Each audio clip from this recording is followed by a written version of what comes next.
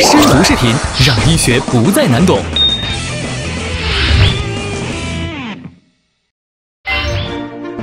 王一斌，主任医师，广州市妇女儿童医疗中心普通与泌尿妇科。深毒菌、附件炎是咋引起的？苍天啊，我做错了什么要得附件炎？附件炎究竟是怎么来的？又该咋预防呢？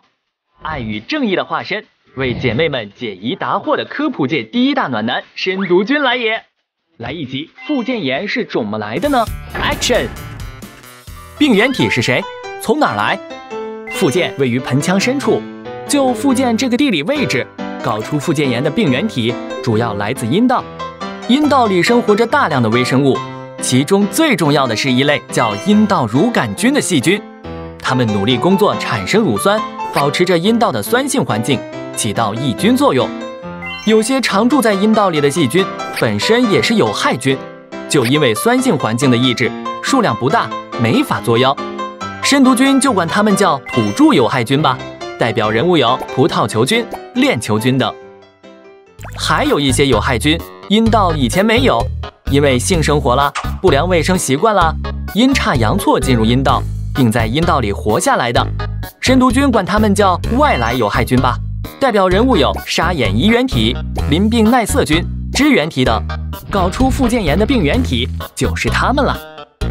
阴道菌群失衡，有害菌大量繁殖，搞出阴道炎，阴道炎蔓延，最终搞出了附件炎。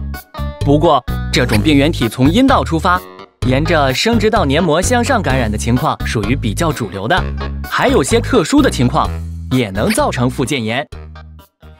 经淋巴系统蔓延，淋巴系统是人体内重要的防御功能系统，它遍布全身各处，由淋巴管。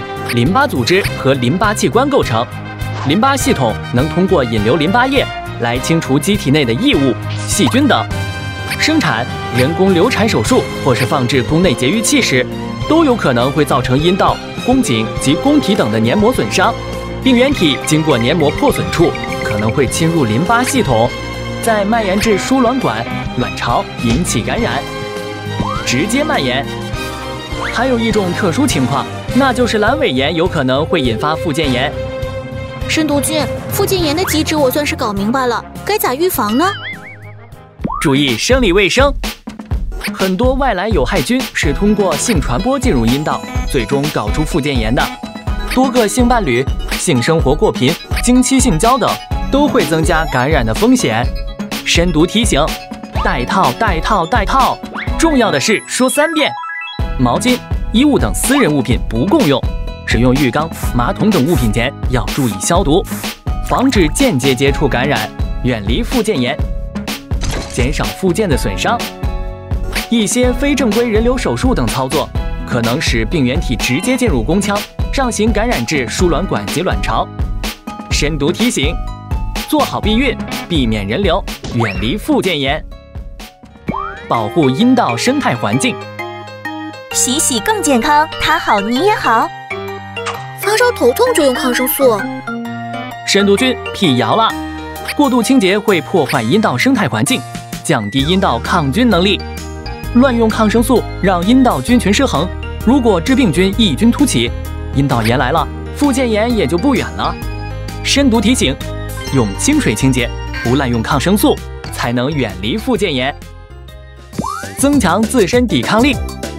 强壮的大白是附件炎的克星，病原体初来乍到就被大白全歼，想弄出炎症压根儿就没有机会。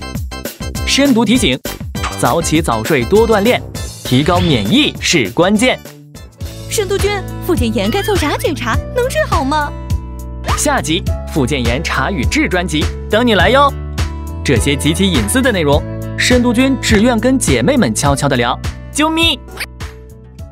心梗、脑梗、前列腺、乳腺、子宫内分泌，十三大科室，上百个病种，尽在深读视频。在线问诊，十几万公立医院医生，二十四小时待命，秒回哟。预约挂号，全国医院任你挂。三 w 点深读 tv 点 com，深读全拼加 tv，要关注哟。